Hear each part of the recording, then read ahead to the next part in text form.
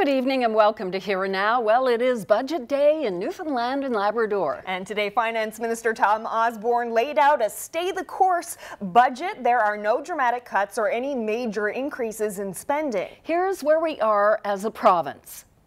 Total spending for the upcoming fiscal year is estimated to be $8.36 billion. But we're only bringing in just over $7.5 billion. So the projected deficit is $683 million. That's lower than was projected last year. But that also means our debt continues to accumulate. This year's estimate, $15.5 billion. And that means the average debt per person in Newfoundland and Labrador is not far off $30,000. So joining us now is Hollis Wealth financial planner Larry Short. So Larry, what is your takeaway here? Uh, well, there are two key points. One is that it's basically um, a nothing burger budget. There's no meat in this. There's uh, a few sweet trinkets that sort of uh, makes it easier to swallow, but there's not there's nothing that really changes from last year. There's not any dramatic. Uh, there's no increases in taxes and the like. The only caution is that with the deficit rising as much as it is, these, the forecast that the government has used um, does not see foresee um, a potential for a recession. We usually get a recession about once every four to five years. We haven't had one in 10. So there's a bit of a danger there. All right, Larry, thank you very much. And we will come back to you uh, later in the show for more analysis. Well, today's budget also confirmed something we first reported yesterday. Government will move to create a new Crown Corporation to help drive what's expected to be dramatic growth in the oil and gas industry. And that means a big shakeup for Nalcor Energy.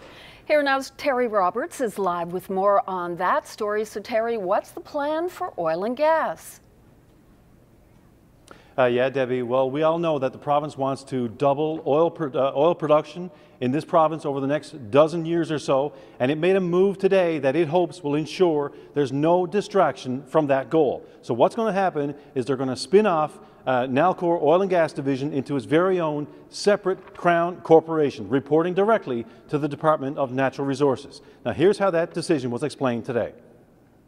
Right now, our oil and gas company that holds equity for the province of Newfoundland and Labrador, that it does a lot of the exploration work for Newfoundland and Labrador, is within a, is a subsidiary of an overall corporation, and that overall corporation is very focused on electricity. We want to ensure as a province that we give absolute 100% attention to this uh, industry. Now, government stressed today that this is not about separating uh, Nalcor's oil and gas division from the uh, very troubled Muskrat Falls project. This is about, they say, and ensuring that the province will maximize the benefits from its oil industry. Now, as we all know, there are less, no less than 85 applications right now for exploratory wells in our offshore. Uh, that's part of nearly 3 billion in exploration commitments by oil companies. The province expects about a billion dollars in oil revenue this year, some very critical money for our uh, coffers, and millions more in equity payments from ownership stakes in the three oil projects. So, Terry, what was the reaction to the split at Nalcor? Well, I uh, spoke to some uh, opposition politicians today, and uh, the reaction was uh, mixed. The oil and gas sector under Nalcor the past number of years has considerable success. It's continued to grow. There's been investments made. We're seeing that return. We're seeing return on our equity investments. Uh, you know, but why we're doing this right now, there's not a lot of detail. I think this budget is a lot of smoke and mirrors, and I think this is just another element of it. Where's the proof that this is going to be good for the province? Uh, maybe, maybe it will be, but I have no idea. And for them to put it in the budget without an explanation, without the evidence that this is a good thing to do, I think is not responsible. Now, this, uh, this is not going to happen overnight. This, uh, we're probably going to need some, uh, we will need some legislative changes for this. This could be weeks and months before this happens. And we still don't know an official name for this new Crown Corporation. And Siobhan Coady gave every indication today that the, uh, uh, the current uh, Vice President of Nalcor Oil and Gas, Jim Keating. He will very likely be the CEO of this new Crown Corporation.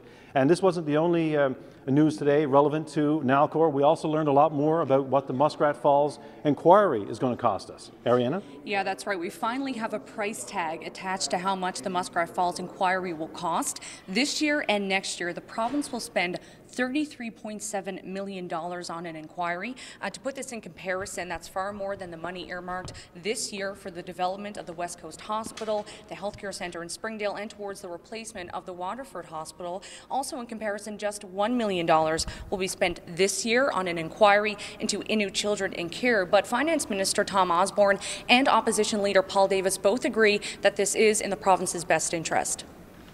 As Finance Minister, I can say that there's a lot of places we can use $33 million, but if we learn from the mistakes that were made at Muskrat Falls and why the projections were so off and why the timing of completion of the project was so off, and, and we can use what we learned from that inquiry to ensure that if we do any other projects in the future, we don't make the same mistakes.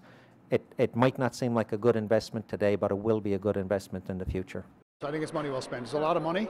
Uh, you may go higher yet, but I, I anticipated it was going to cost tens and tens of millions of dollars to carry out. So, Ariana, what about the average person in this province? Is there anything in the budget that could affect their pocketbook?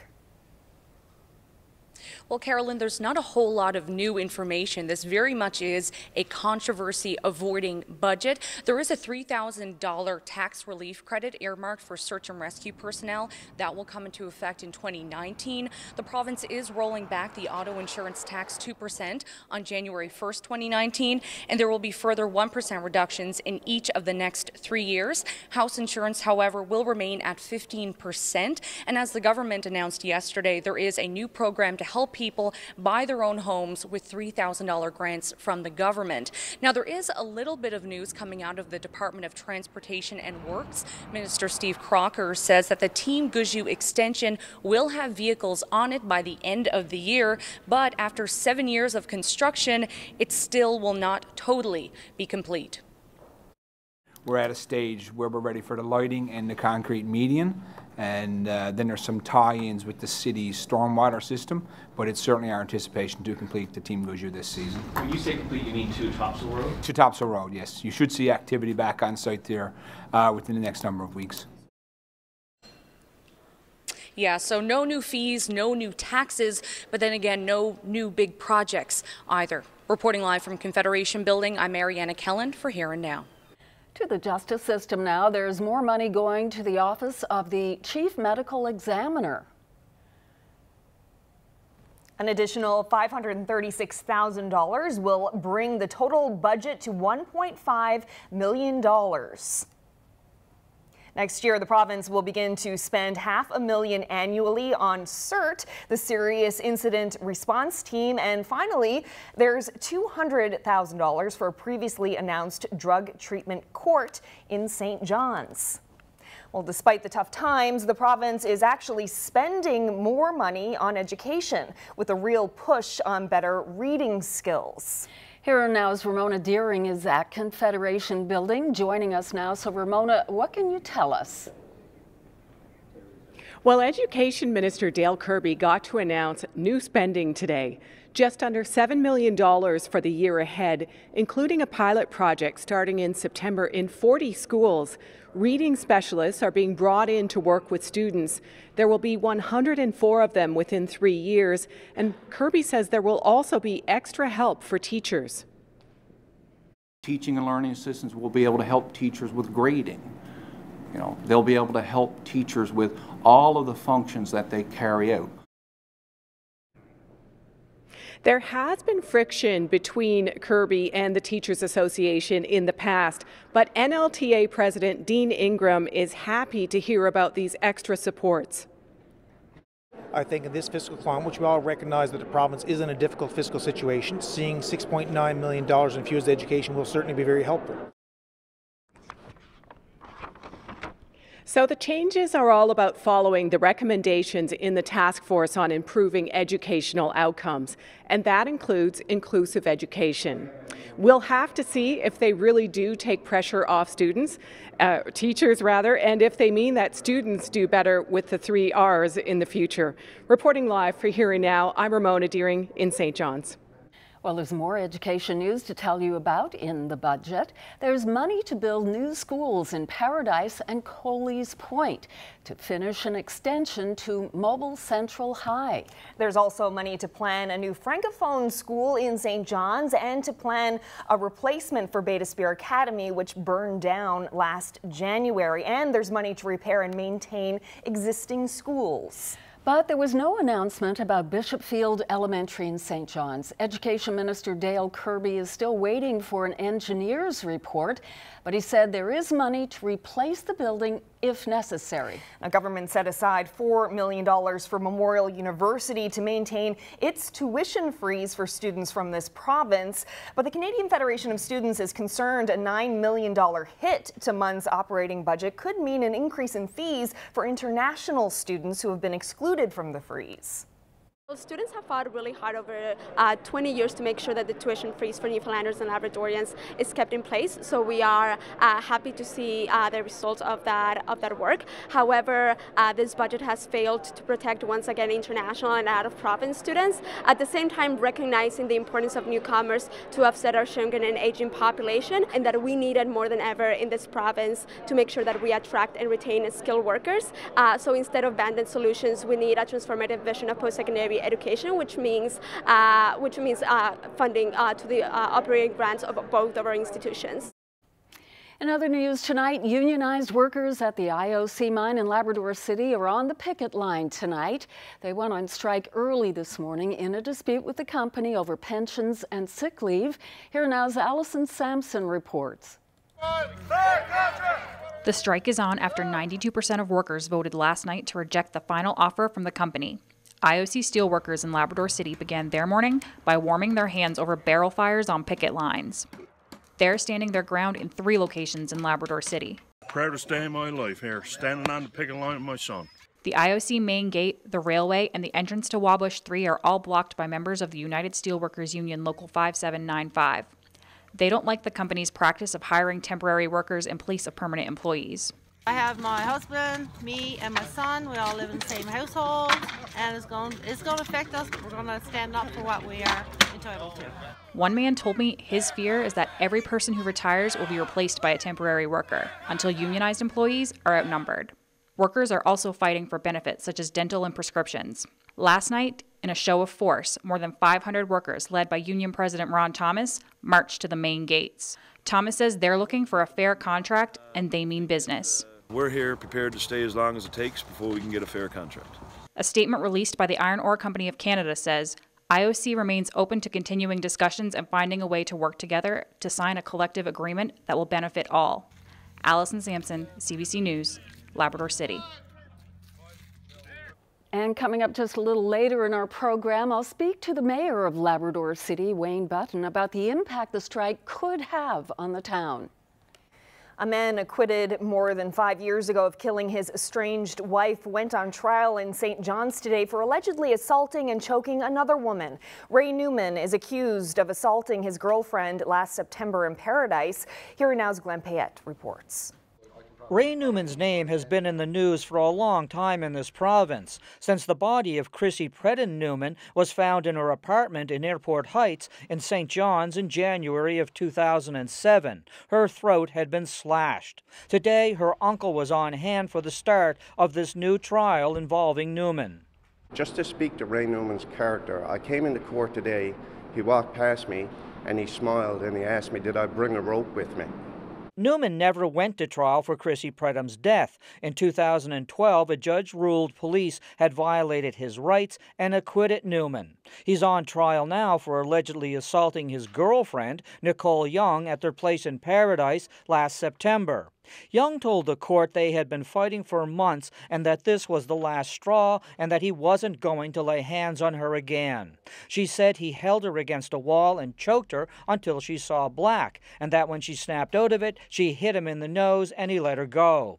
Young admits they had both had a lot to drink and that she can't remember what the fight was about, but she says Newman had a look of rage about him. Pretty overwhelming when you're here listening to another lady, you know, talking about she feared for her life. Harvey says what he went through after the death of his niece took its toll on him. I didn't know how to cope with everything that was going on, and uh, throughout that time, I, uh, you know, I'm, a, I'm embarrassed, but throughout that time, I got so low that I, uh, I tried to take my life after after all this. Young finished giving her evidence today. The case is back in court in mid-May. Newman's lawyer, Brian Wenzel, says that at this stage he anticipates that Newman will be taking the stand in his own defense. Glenn Payette, CBC News, St. John's. Well, time now to bring in Ryan uh, with our first look at the weather. Fabulous day today. Can we have another one, please? Uh, no. Oh. Not for a while, anyway. Uh, I do suspect there were a few extended lunch breaks today. And Uh, why not? yeah. We've been starved for this weather. uh, what a day. Not just the sunshine, but the light winds. And, you know, with that sun getting higher and higher in, in the sky, uh, that had us uh, warming up quite nicely. Have a look at some of these highs today. Double digits today in Terra Nova, in Corner Brook, 9.9 here at the weather station atop the CBC building here on the Parkway. Eight officially at the airport, but yeah, double digits, at least flirting with double digits from St. John's to Corner Brook today. Seven, eight, nine degrees in the Happy Valley Goose Bay region. But yes, uh, all good things must come to an end, and they will come to an end in the form of a messy system coming in tomorrow. The freezing rain will be a factor for most of us, but mostly along that north coast where we have freezing rain warnings in effect. Uh, that's where the freezing rain is going to be lingering longer as we roll through the later parts of tomorrow. Very quiet through tonight. Even tomorrow morning early on, 6 a.m., that freezing rain likely just underway for the Burin Peninsula and the southern Avalon. It looks like through the morning commute, that freezing rain becomes an issue for St. John. So uh, do be prepared to encounter some icy conditions tomorrow morning. Leave yourself a little bit of extra time, and then that freezing rain threat really extends into central parts of Newfoundland tomorrow afternoon and lingers into tomorrow evening again along that north coast. We'll break down your timeline in more detail and talk about what's ahead for the next 48 in just a few minutes. Up next, I'll tell you what wasn't in the budget today and what the people of Corner Brook think about the future of the pulp and paper mill.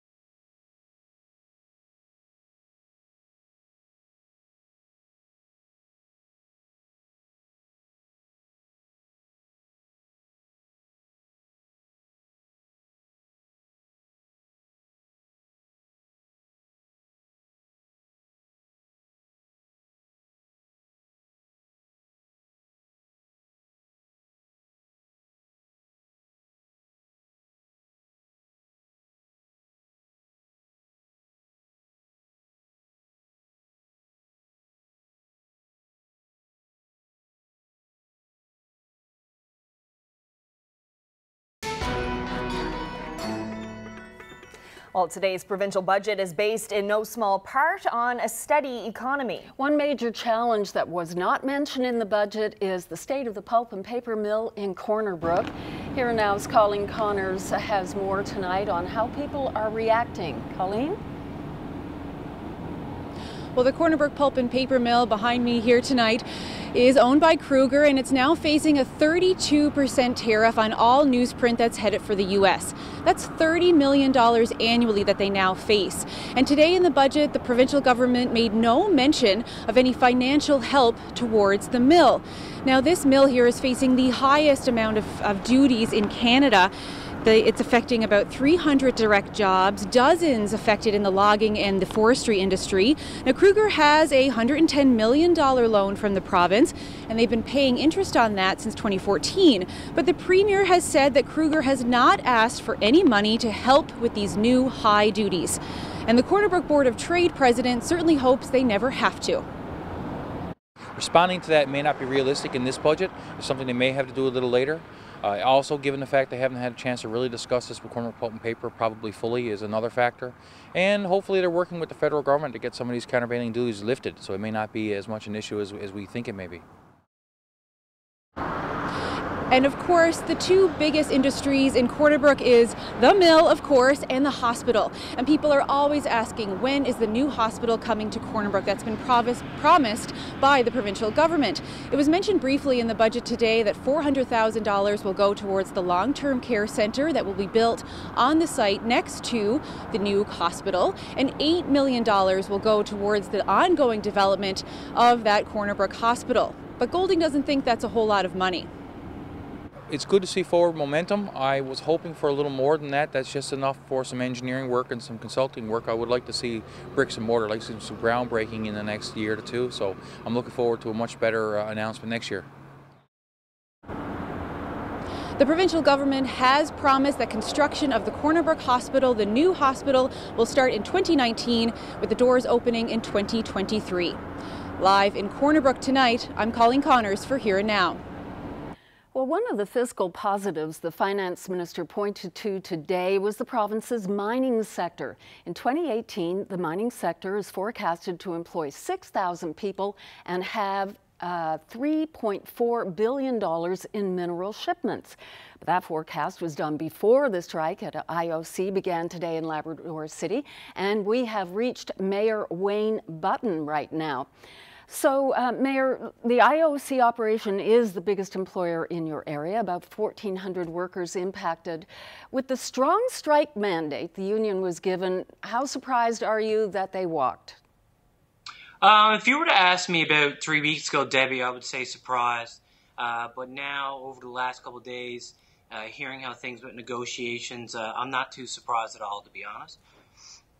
So let's talk about that. Uh, what was the uh, the straw that broke the camel's back? You talked with these workers. Your spouse is one of them, I understand. What are they telling you?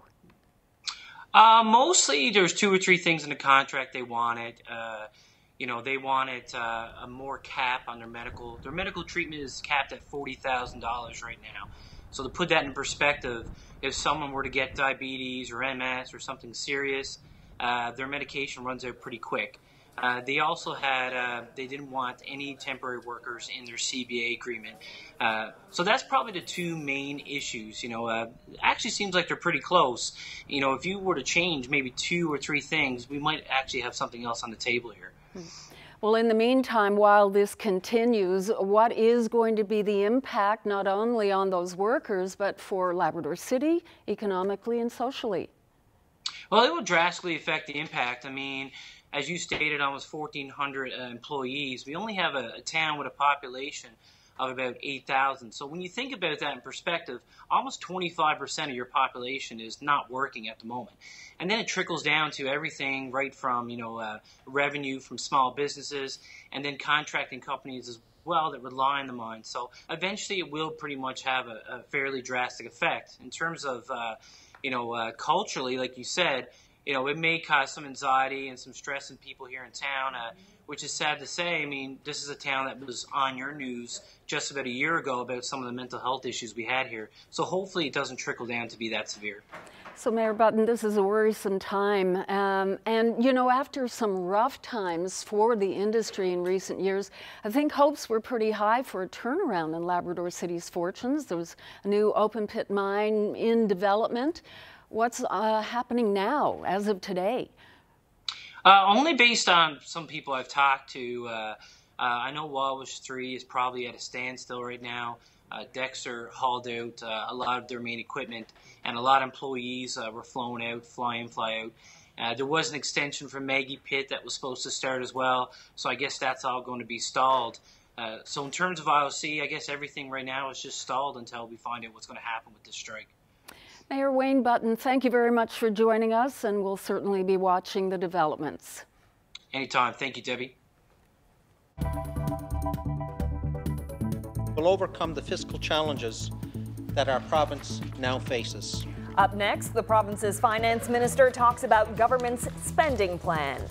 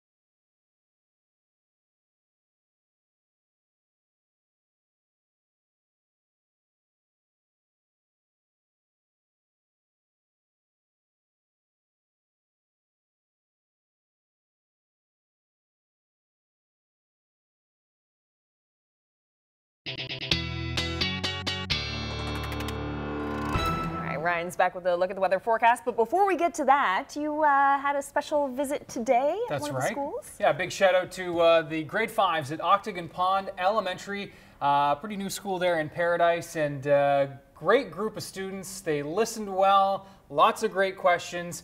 and they even uh, made me a nice card to uh, to thank me for the visit that they all signed. Uh, but there was one request at the bottom. Give us another snow day. Oh, I guess they didn't get as many this year as they wanted. One. Oh. One snow day. I tell you, the, the school visits have been a tough bracket for me to this tour uh, that I usually do through the winter season.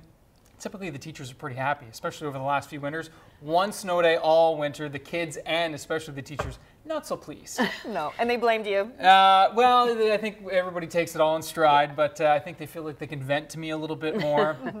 No snow days coming, unfortunately. Uh, and we're Oh, no, I'm glad. Season, yeah.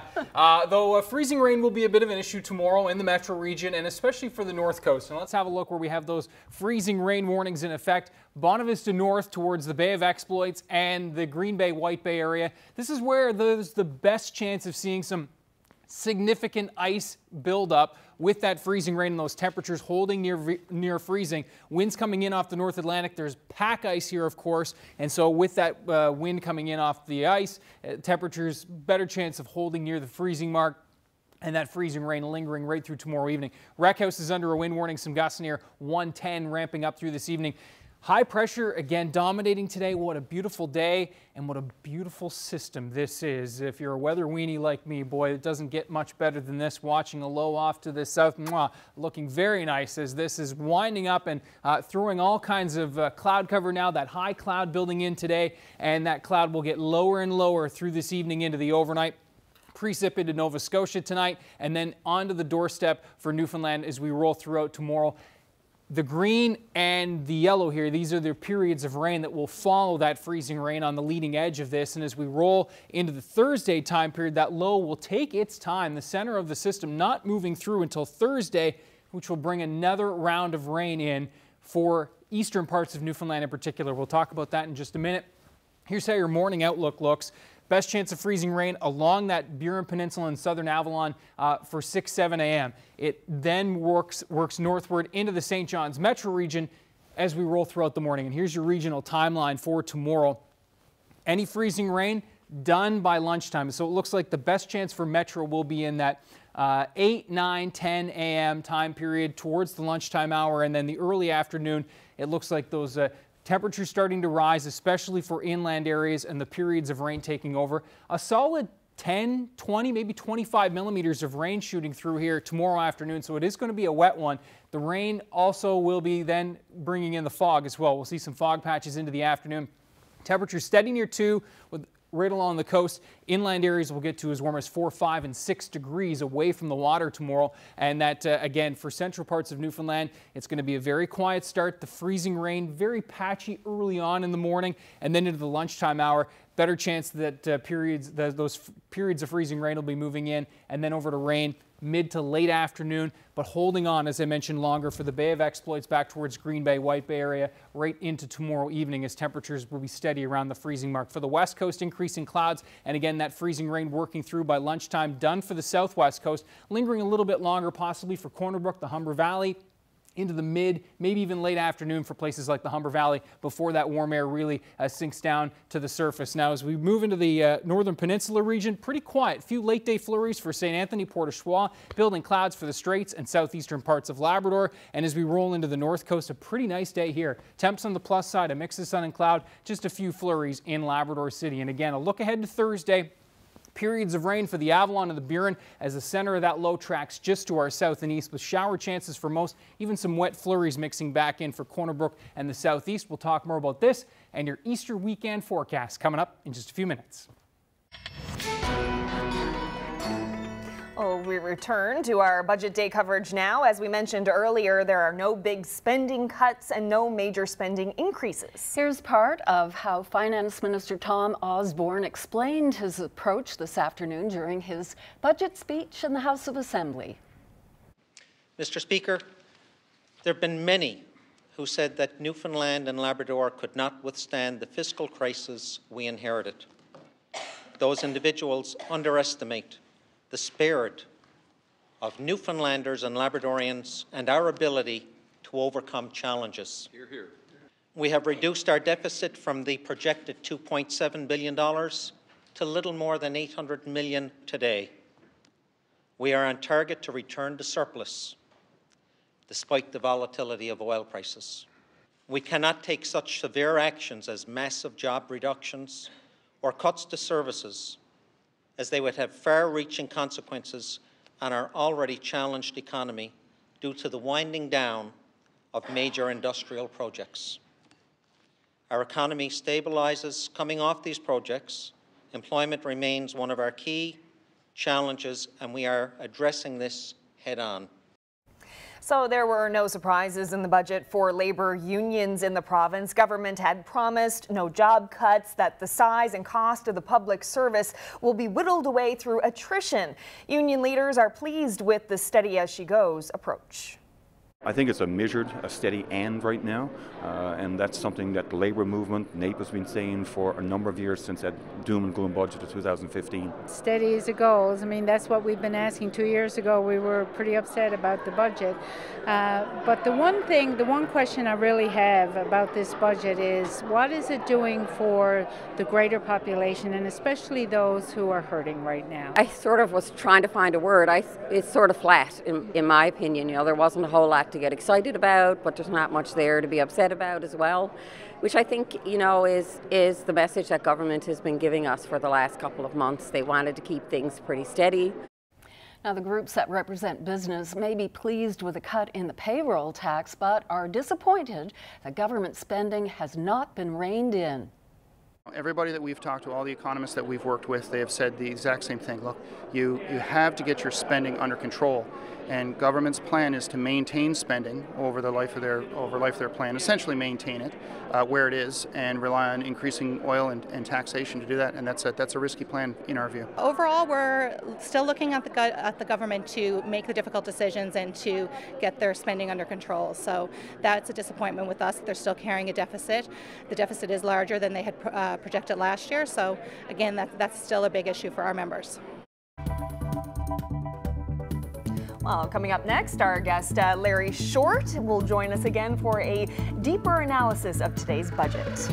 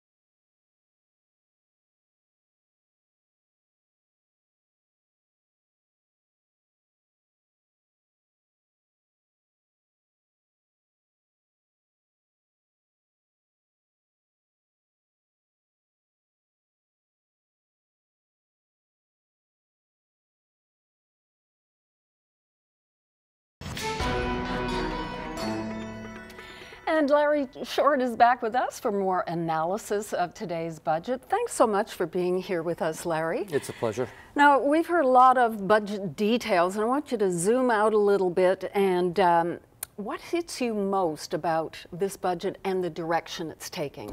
Uh, so it, this really is a budget that is a state of course. It's not one that is making any major changes. It's not one that's either raising uh, or cutting taxes. So we're so we're not really seeing. You know, it's it's it's not particularly inspirational. Mm -hmm. It's um, here's where we are. There's a, we're shaving a bit off the uh, the spending, and, uh, and although it sounds a bit strange to say that we're only uh, going uh, into, into deficit by another 600 million more. it sounds difficult to even say that. it feels better than when we were a couple of years ago at 2 billion a year. Are they are they uh, relying too much on the federal government? Uh, there is money coming in, obviously, from the federal government. There's uh, the biggest impact we're still seeing is oil, and it's not just oil royalties; it's also oil employment. So it, oil is still taking up something in the order of about 28% of our economy. And if indeed the oil forecast uh, forecasted prices are realized, then yeah, we're in, we're improving slowly. What about some of those uh, big picture goals that we hear government talking about yeah. a lot, like attracting more people to the province, keeping people in the province, attracting more business? What's in the budget that addresses so, that? Well, not a lot. See, and, and, and we're also competing against the rest of the country where you have things like, you know, in uh, December figures were showing us that the unemployment rate in British Columbia was 4.6%. I mean, so, you know, jobs galore, uh, uh, high wages, mm-hmm. right? And, and places like Manitoba. I mean, the vast majority of the of the provinces are better shape economically than we are right now. So trying to attract people into the province and attract uh, immigrants into the province is incredibly difficult uh, when you have you know better wages, better housing, better health care. Uh, you know, so it's it's difficult. And what about keeping young people here? Yeah, so the three thousand dollar um, you know first uh, or first purchase uh, that helps. Uh, but we need more of that. And, and, and the helping with the, the daycare, that is, that is positive. We need more of that. But we, again, we're kind of snipping at the edges as opposed to really making a wholesale um, major change that will really turn people's uh, thoughts around. There were no tax reductions today. It's something you referenced this morning in the reporter's lockup, yeah. and you gave an example. Manitoba yeah. is cutting. Uh, why is that so important? Again, because it is much more attractive then. If you're attracting businesses, um, it's, it's the corporate tax rate being lowered always helps an attracting business, but the personal tax rate also means people are more attracted to a particular area. So it's another example of how we're being outcompeted by the rest of the country. There are some goodies in the budget. There's uh, you know more money for teaching and learning assistance in schools, Which, yeah. more money for mental health uh, in communities. Uh, so who does this budget please? Um, so again, as I put at the beginning, there's not a lot of meat, mm -hmm. but there's a few sweet pieces. And that's, and that's what, what I was getting at, was that there's a couple of pieces that are nice to see, mm-hmm. but we need more of it. We'd like to have more of it, but the government's hands are constrained. I mean, if they're trying to cut back on the spending, they can't come out with a wholesale um, you know, expenditure that is really, really large. Is there anyone who will be unhappy by? No, this is not really offending anybody. Right. Mm -hmm. Just to uh, clue things up, Larry, what would you like to have seen in this budget that's not there? Uh, the key thing I'd love to see is, look, we've had a number of years here where uh, we've been told that we have the, the highest debt per capita in the country. Um, that it's been a lot of gloom and a lot of doom, but we also need to recognize that we have a lot of advantages here. And uh, you know, we, we have a, a landmass the size of Japan, the population of Hamilton, Ontario. So you can say that we have the highest debt, but we also have the highest resources per capita of any place in the world. We're uniquely positioned between North America and Europe, so that uh, you know, with deep water ports, with copper, nickel, zinc, uh, iron ore cobalt, I mean, all of the things that the world needs. So there is a brighter future out there. Love to see a bit of an inspirational leadership sort of uh, conversation of uh, from uh, the government to say, here is here's the vision that uh, we're moving towards, and there will be a better tomorrow. And that, and maybe they've been just a little bit too set set back in, in on their heels. Thank you so much, Larry Short, for joining us with your analysis. It's my pleasure.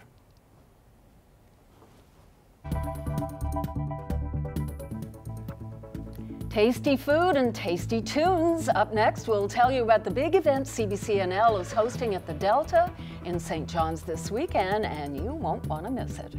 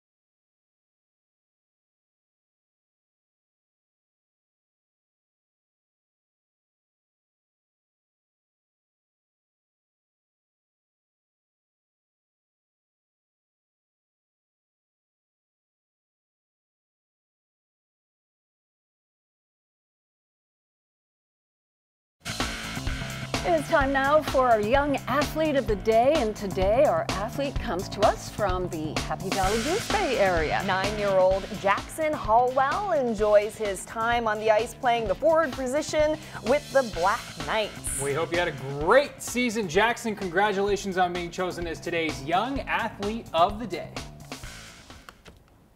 Well, everyone is looking forward to the big event this weekend. And no, I'm not talking about Easter. It's that other big event, CBCNL's Tasty Tunes. We're looking forward to both of them. Yeah. But on uh, this uh, program note, we're talking about Saturday, the Delta Hotel, live local musicians, lots of great food. Our fabulous local chefs are Andy Bullman, Christopher Joy, Daryl Hammond, Amy Anthony, and Justine Thompson. And here's a sample of their work. We're unique in the sense that we're growing our own microgreens. Nobody else really has that kind of stuff going on, so we have that extra little touch.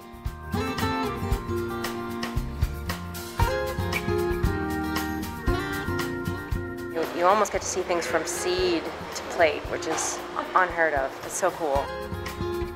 I think doughs are my favorite thing to work with. It's really fun to like feel the dough and be like, that's a good dough. It's a good feeling. When you make something, it's consumed right away and then it's gone, and then you can make something new, and it's just always something new.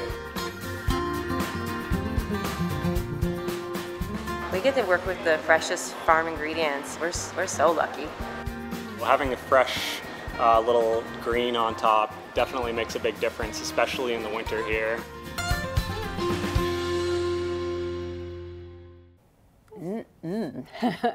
that is Saturday evening at the Delta. The Songwriters Circle starts at 4.30 and food will be served at 6.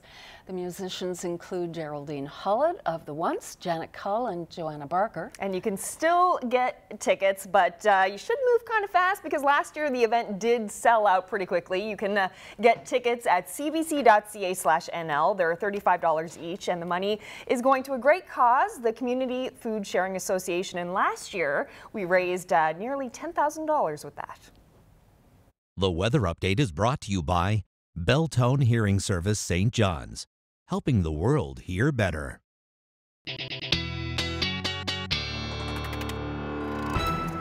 All right, so Easter's almost here, getting those uh, spring feelings, especially after today. And I know uh, you both uh, love to be out in the garden, especially Mhm. Stokesy. so this picture is uh, just for you. Oh, yay. And Michael didn't say exactly where he took this, but uh, always a good sign anywhere in this province to see the crocuses coming up like that. Lovely.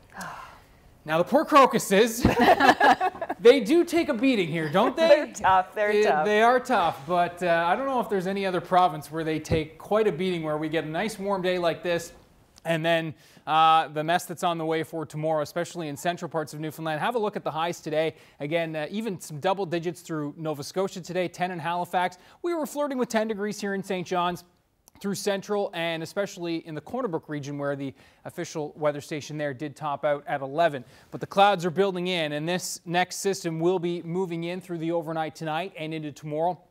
In case you missed it earlier, there is a freezing rain warning in effect for the north coast of Newfoundland. That's where the freezing rain will hang on the longest, but freezing rain on the menu for pretty much everybody, especially across the Avalon Peninsula tomorrow morning, up the northeast coast and into central parts of Newfoundland for the afternoon. Rain and fog take over for the Avalon and across the south coast through the afternoon hours as the freezing rain hangs out for the north coast a little bit longer. By tomorrow evening, everybody's into that warm air minus the northern peninsula where we still have that wet snow mixing in. That tracks into southeastern parts of Labrador for Thursday. And that same low then finally starts to track in and just south of us as we roll into the Thursday time period. And that will bring periods of rain and more fog on the menu for Thursday. And then that departs and a bit of a break as we roll into your Good Friday time period. If you are traveling on Friday, I'm sure many of you will be. It looks like the Friday morning time period will be the best for traveling across the province and even into Labrador. As we roll into the afternoon, we will have to watch this next system which does look set to roll in from the south. This is the long range forecast projection, and you can see where it will move in as we move into the Friday evening, overnight into Saturday time period with a bit of some snow mixing to rain. Saturday afternoon, bit of a break, still some unsettled weather hanging out in the form of some light snow across uh, Labrador. Another brief uh, break as we roll into the late Saturday into Sunday time period, and it looks like our next system then rolls in for Sunday night and into Monday. Again, a little bit of an, another mix maker, it appears, for Newfoundland, but most of us will see a mix from snow over to rain and more snow, though light, looking set for Labrador. So a couple of systems to watch Friday into Saturday. Sunday into Monday, and uh, we will keep an eye on obviously the, the setup beyond that. But uh, the general theme here temperatures riding above the seasonal mark. We should be in that uh, three, two to three degree range right now for this time of year. Certainly riding above that with these systems tracking in. We're getting into the warm sectors with most of these, and so uh, uh, we will obviously keep you posted. But right now, not looking too bad for travel as we roll through the Easter weekend into Labrador. Again, keeping an eye on some potential for some snow for Saturday and again on uh, on Monday. But overall, not a bad looking seven-day forecast there as well. Of course, another update 24 hours from now uh, before you hit the roads this Easter weekend. Debbie. Thanks, Ryan.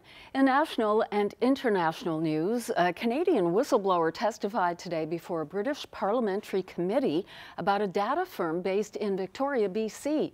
Chris Wylie claims Aggregate IQ bragged about influencing elections around the world. Aggregate IQ,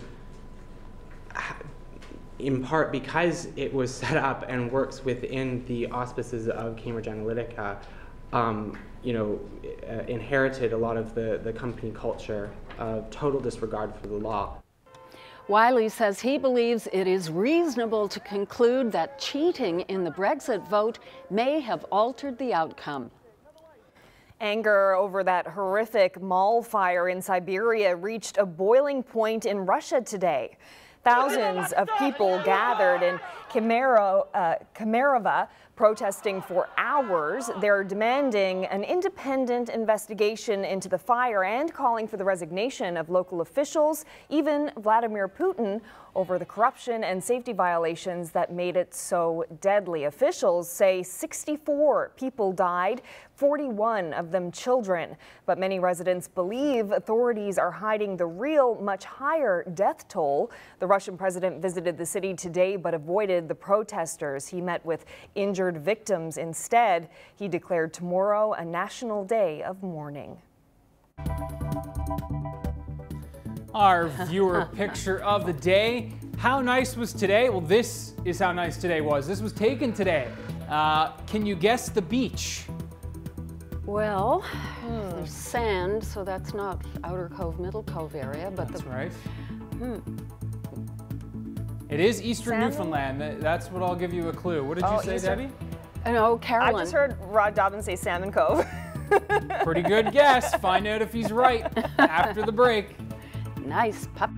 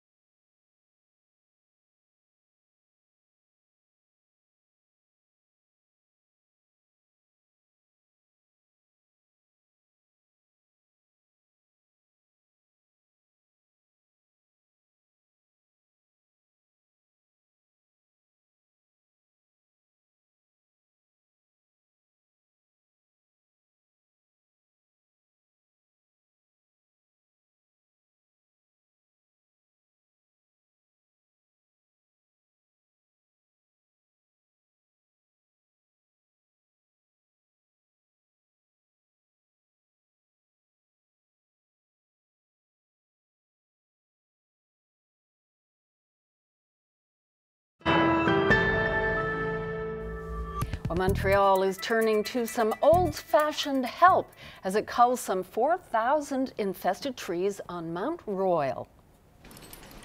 Jack, you see here, is one of two Belgian draft horses the city is testing out. They're removing trees infested by the emerald ash borer. The city opted for the horses instead of using heavy equipment in hard to access areas. The hope is they'll cause a lot less damage than the machines would. 200 trees have to be cut down by the end of the week. Then the work has to stop because of the start of the bird nesting season. What a beautiful horse. Yeah. Well, when a storm drain backed up in British Columbia's interior, a plumbing crew chalked up the ongoing flooding issue to a sand clog. Yeah, what was, holy cow, let's go. Wow. But when they started to investigate, they realized the root of the problem was something else altogether. Oh my goodness. In fact, it was a willow tree root that had grown to fill the entire width of the pipe. It took these uh, guys about two hours to get it out. In the end, the root stretched 12 meters long. A couple of words they're using to describe it alien and anaconda. As one plumber uh, said, 35 years on the job, but he's never seen anything quite so Jurassic. Yeah. That's looks amazing. like a giant hairball. I didn't realize willow trees were that resilient. wow. Cool stuff there. Uh, okay, beautiful day today, and uh, Rod Dobbin, our switcher director, correctly guessed uh, this picture. Uh, we go to eastern Newfoundland and here to the Avalon and the beautiful spot that, uh, again, will be packed in the summer. Doesn't look quite so busy today at Salmon Cove Sands, but uh, Barb Parsons and her dog Bella went to the beach and uh, enjoyed uh, this beautiful, beautiful day. Uh, so thanks to Barb for passing this along. Boy, that just gets the oh, it could warm be thoughts 20, going. It could be 20 degrees there. The picture looks so lovely, the sun and everything. Soon. Soon. 20 degrees soon.